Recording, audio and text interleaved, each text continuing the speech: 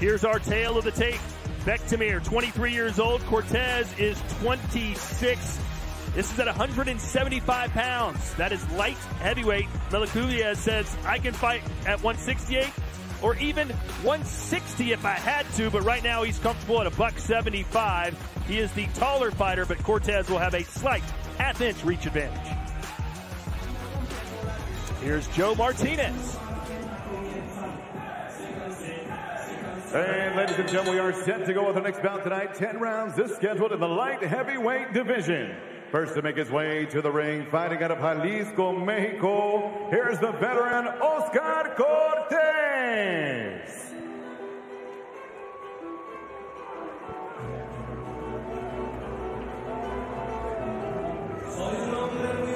No frills for Oscar Cortes. All he needs is a t-shirt and a pair of boxing gloves and he's ready to rumble.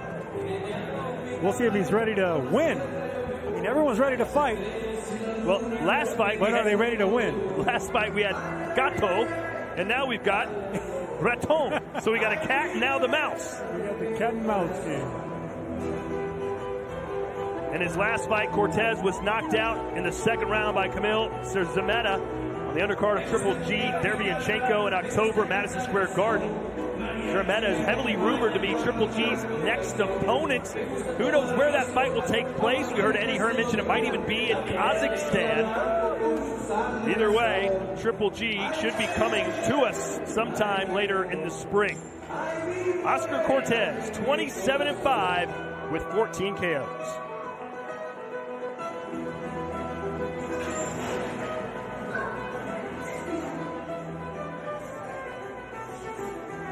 And his opponent ready to make his ring walk. Here's the undefeated Bektemir Melikuziev.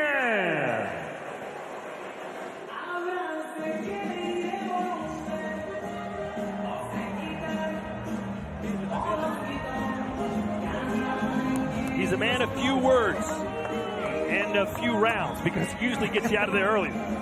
Very, very hard puncher, and he just has that bully mentality, hence the nickname. But yeah, he wants to seek and destroy every single time. His last fight, he did go the 10 round distance, but it was just his fourth professional fight. That's something only a handful of boxers can say they've done in their fourth fight. He's moving at a very rapid pace. Yeah, but that's how, you know, these Olympians, especially from Uzbekistan and Kazakhstan and uh, Eastern Europe, they push them really fast because they saw everything as an amateur already. They faced every style. And Joel Diaz and Antonio Diaz, his, uh, his trainer, he told us that. It doesn't matter who they put in front of this man. He's already faced everyone in the amateurs. He was the flag bearer for the closing ceremonies of the 2016 Olympics for Uzbekistan. And he's already ranked number 15 by the WBA at 168 pounds. The current two WBA champs are Callum Smith and a man named Canelo. Is this is it pronounced Alvarez? Something, Something like that. Yeah.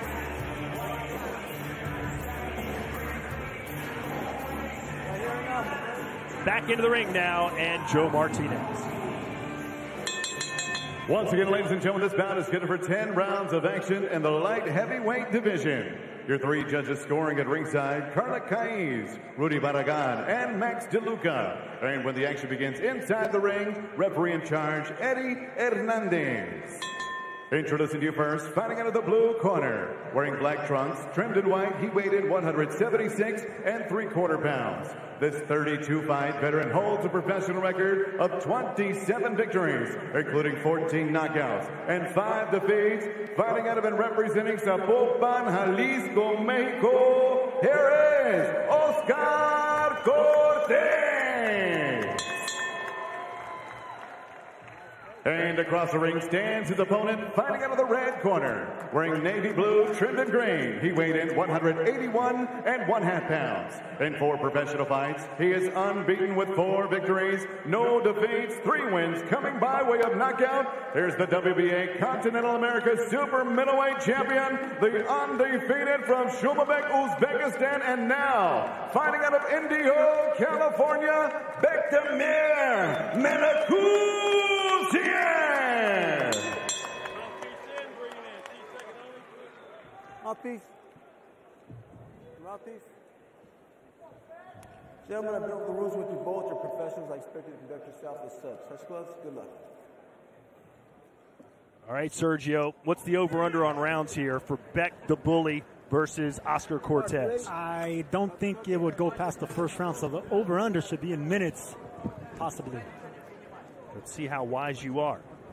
And the reason I say that, it's not a knock on the toughness of Cortes, is he took this fight practically yesterday. No, there wasn't practically. He did take it yesterday. In fact, he weighed in today, just jumping at the chance, fighting out of Mexico, Zapopan, Mexico. was originally scheduled for Beck to face Marco Antonio Periban at 170 or at 175 pounds. Excuse me, 168 pounds, but then in the late change, boosted it up to 175 with Oscar Cortes, who looks every bit of 175. Yeah, he's uh, really soft around the belly and torso area, so expect the bully to go down there, dig down deep. Left hand, is that, that is, we're going to call it a slip. That could have easily been a knockdown. Cortes already showing very little interest in standing toe to toe with Beck the Bully. Seems like his legs gave out right there. Oh my, another left hand as Cortes tries to smile it off. But it's no laughing matter. It's a matter of win, and that is your answer. With a minute 45 left in the first, taking a knee is Cortes. And believe it or not, Cortes started his career as a featherweight, 126 pounds. That was 50 pounds ago. Here comes Bektemir looking for knockout number four. He will get it. That I can promise you.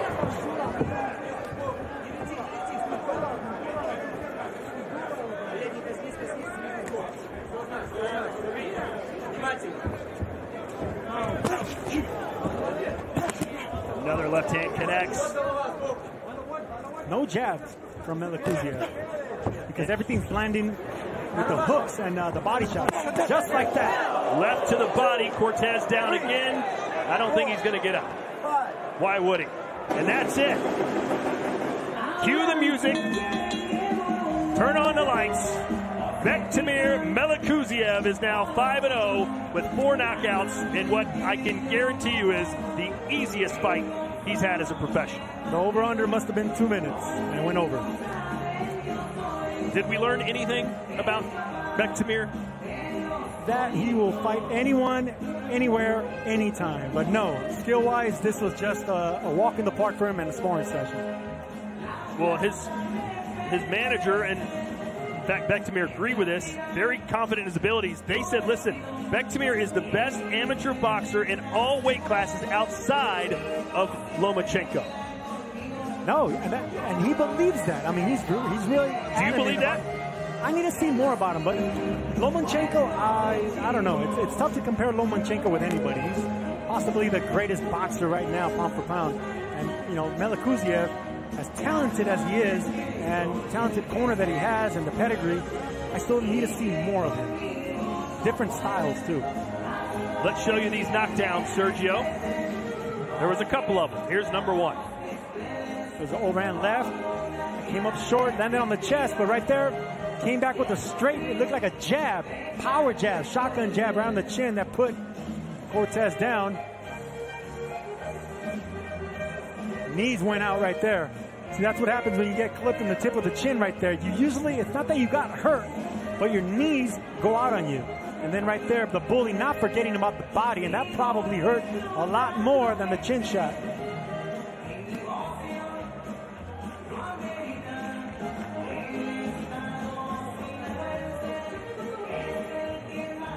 So Beck the bully remains undefeated. Let's hear now from Joe Martinez, who makes it official.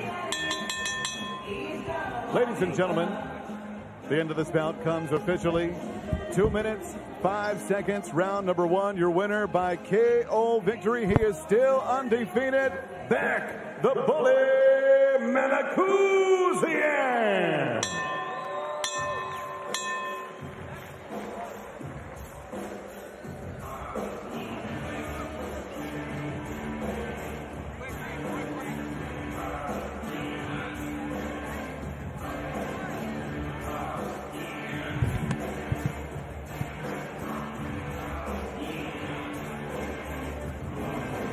We'll hear from Beck the Bully momentarily as he makes his way here ringside to speak with me and Sergio. He trains out of nearby Indio, California. So he feels right at home here in the Honda Center.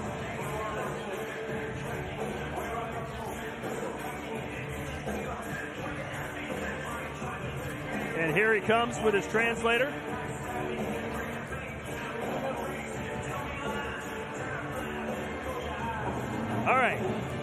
and we're all set now to hear from Bektemir Melikuziev. First of all, congratulations on your win. What do you make of this type of performance and an opponent that was clearly overmatched? Что ты можешь сказать о таком сопернике, которого ты, ну, просто как бы, он не твой соперник? Albatta, rahmat, спасибо большое. И соперник, albatta, o'zgarib qoldi oxirgi momentda va shunga qaramasdan chiroyli g'alabani qo'lga kiritdim. Happy New yo'q xudo bundan kuchli soperniklarni ham yutamiz Saying obviously that wasn't supposed to be my opponent, but thank you everyone for the support. It was the last minute for me, same as for him. Unfortunately, it happened, but I did what I was supposed to do. I, I didn't want to bother people with working with a guy like that. I just did what I was supposed to do. Hopefully, next opponent will be the guy I was supposed to fight today, but uh, we'll see. Todd Grisham asked me what what did you learn in this fight. I said, well, it's tough to learn anything when it's a last minute replacement and such a I shouldn't say easy opponent, but someone that you're supposed to walk through. Did you learn anything? Невозможно ничему научиться, э, конечно, в таком бою, но научился ли ты чему-то в этом бою? albatta ringda har qanday raqib kuchli hisoblanadi hech qaysi ha, nima qilib bo'lmaydi chunki biz juda yam yaxshi podготовка qilamiz har bitta jangga каждый бой хорошо подготовка тренерами всех komanda bilan yaxshi podготовка tayyorgarlik ko'ramiz Obviously, uh, I didn't learn nothing inside the ring. I got my experience going through the training camp. It was a great training camp. And as our coach is saying, spend less time in the ring and learn in, in training camp. It's not a best thing to learn in the fight, you know, being through the tough fights and something like that. So uh, it was a great training camp. I learned in camp. Here, I just got my experience, another ring walk, another another experience of seeing the crowd. So basically, that's it. And a paycheck. So you don't get trained to uh, you don't get paid to train, but you did get a, a paycheck here for fighting. But you beat who they put in front of you and you did the right job. How soon would you like to be back in the ring, considering you didn't have to put in much of an effort tonight? Когда ты готов вернуться в ринг, учитывая, что ты сегодня не, не, не потратил энергию? albatta juda yam ko'p nima qilmadi juda oz vaqtda g'alaba qozondim дай bog'